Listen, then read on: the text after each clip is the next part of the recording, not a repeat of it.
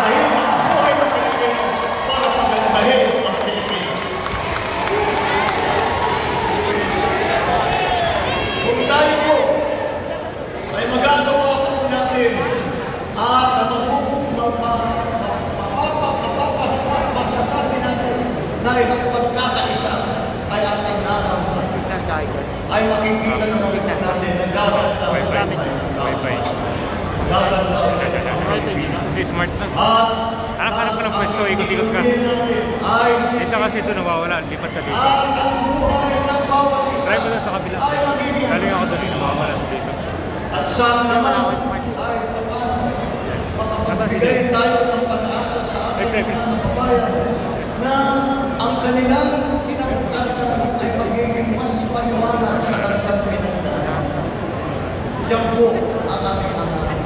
Yan po ang aming layunin para sa ating bansa yung ang aming para sa ating pinangyari.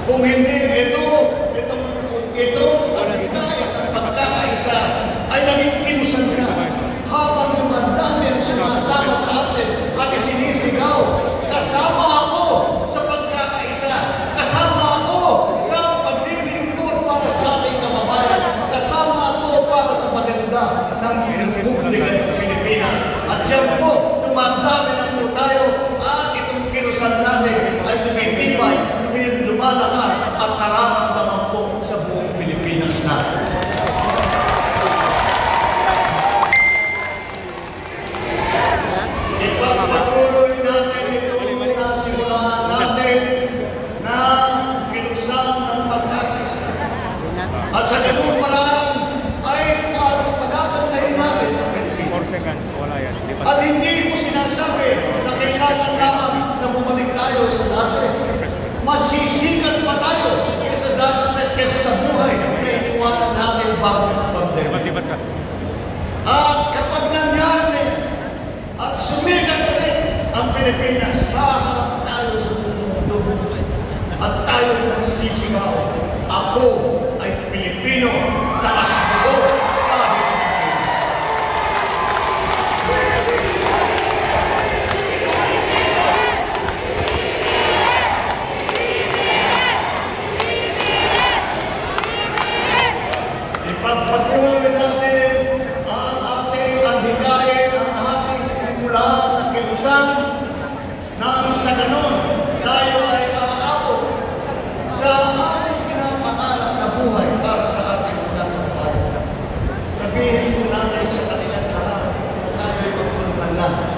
tayo na ay bumalik para yung magkakaroon ulit ang ating mga kapatid ng counting minutes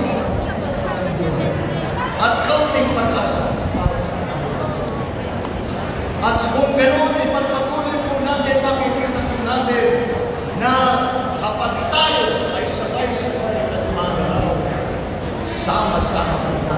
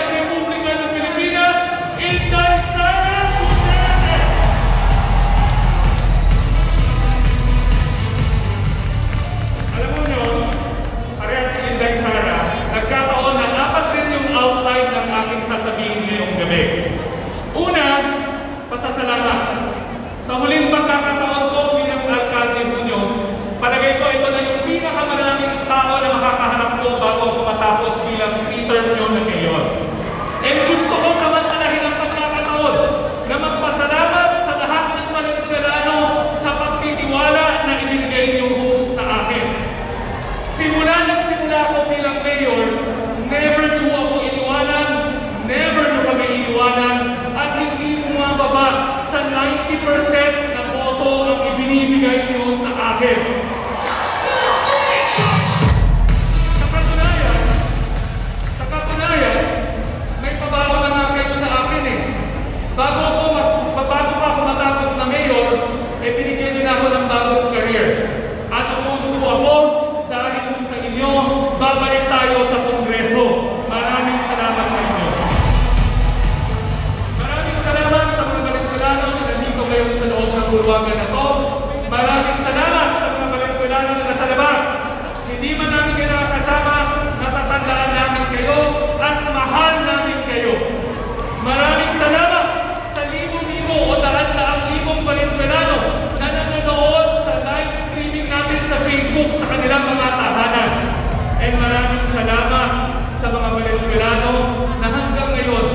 Eh hindi ako iniiwanan, hindi iniiwanan ang tayo na Valenzuela.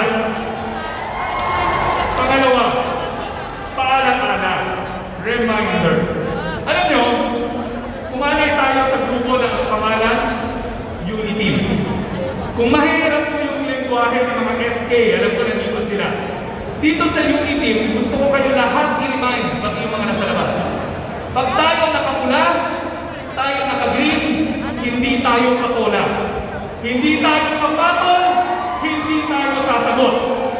Every election, sanay tayo na tayo yung may naririnig na hindi magaganda mula sa ibang tao. Pero every election, pinatutunayan na lang natin na tayo ang mayorya sa balota. Hindi tayo sumasagot, hindi tayo pumapatol, at higit sa lahat, hindi tayo nagiging bitter. Okay ba yun? So sa mga Valenzuelano, gusto ko ulit-ulitin natin to na reminder sa ating mga utak.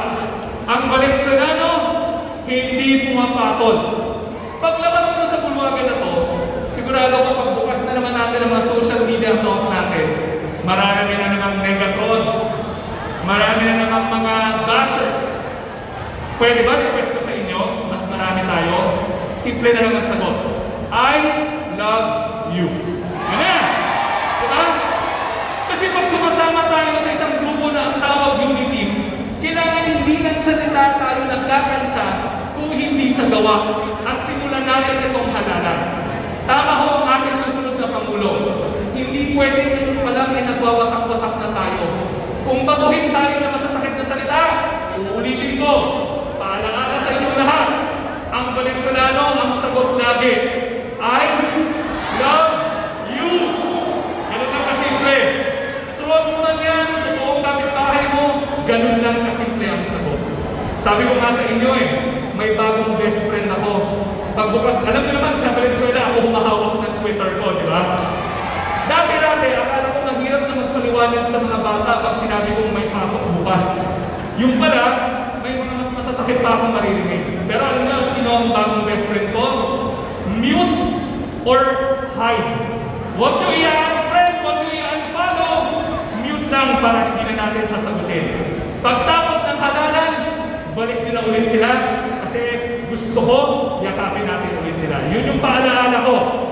Pangatlo, katulad ni Inday Sara, gusto ko magpaliwanag rin sa inyo at bigyan ko kayo ng explanation kung bakit ako humanay dito sa grupo na to sa pamumuno ng ating susunod na presidente, BBM, Vice Presidente Inday Sara. Pumanay ako dito dahil sa experience nila. Alam ko na meron silang naiambag sa kanilang mga lugar sa Ilocos, meron naiambag at naging kontribusyon sa Davao City at mapapalawig nila at pati tayo sa Valenzuela City mararamdaman natin.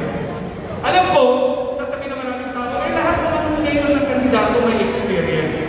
Pero alam niyo, higit sa lahat, ang umakit sa akin na sumama sa grupo na to, yung mensahe ng pagkakaisa. Isang pangulo lang na kandidato, isang pangulo lang na leader. Sa halalan na to, ang narinig kong nagsabi, magkaisa tayo, wala akong oras pumatol, hindi ako nandito para makipag-away. Reminder yan, wala tayo dito para makipag-away. Nandito tayo para tulungan ng ating mga kandidato. Nandun talaga ako umangkla sa mensahe ng pagkakaisa. Sabi nga namin dito sa Valenzuela, sa pamumuno sa slogan ni Congressman West, na susunod yung alkalde, sana kung tutulungan nyo, sa pagkakaisa, tuloy ang progreso. Di ba? Ganun lang kasimple yun. And pangwakas, ang huli kong mensahe sa inyo, pakiusap. Alam ko naman, excited kayo na ibalik sa Senado si Sherwin. Alam ko na gusto niyo siya makita ulit sa Senado. Pero kung win na win tayo kay Sherwin, dapat win na win rin tayo sa lahat ng kasamang senador ni Sherwin sa Unity. Hindi pwedeng si Sherwin lang ang win na win. Dito sa Valenzuela, win na win ang ating spokesman, Harry Roque. Win na win ang ating kampiyon ng kalikasan, Lauren Legarda. Win na win ang aking kasama na mayor, noong una niya huli niyang termino, Herbert Bautista.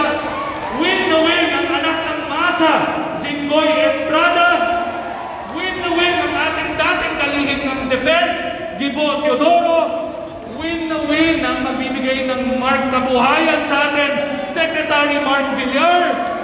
Win na win ang ating dating senador na ibabalik natin, Gringo Honasan. Win na ang ating abogado, Larry Gadon. Win na win rin siyempre si Mig Zubiri. At ito, matalik kong kaibigan. Noon, magkasama kami sa Kongreso. Lagi sinasabi, balang araw makakaganti ako sa mga mabuting bagay na ginawa mo sa akin. Win na win tayo kay Congressman Future Senator Dante Marcoleta. So mga kapwa ko Valenzuelano, ako na ang huling magsasalita, ako na ang magkuklose nito, nais ko samantalay ng pagkakataon muli. Maraming maraming salamat sa pagtitiwala, maraming maraming salamat sa oras na nilaan nyo. Muli, BBM para sa Pangulo, Inday Sara para sa Vice Presidente. Magandang gabi sa inyong lahat.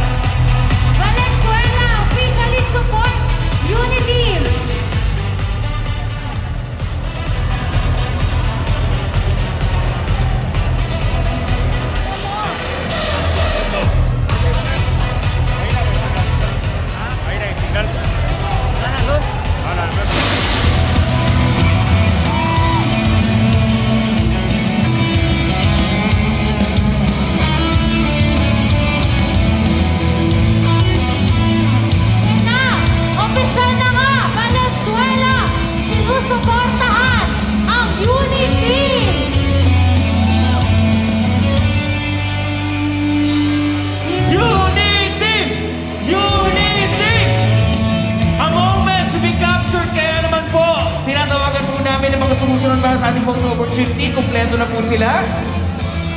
Valenzuelanos, ang tinataratong nagbababawan muli sa Pilipinas ang perfect tandem, President Bongbong Marcos and Vice President Sara Duterte kasama ang mga senador ng Unity. Pero ipopoto po natin ito at syempre, sa pagkakataong ito, kasama naman nila. Tinatawagan po natin na samahan sila Congressman Eric, Vice Mayor Lori, at lahat ng mga local candidates ng Valenzuela. Picture po, kasama ang Unity! Maaari po ba tayo magsama-sama para sa picture po?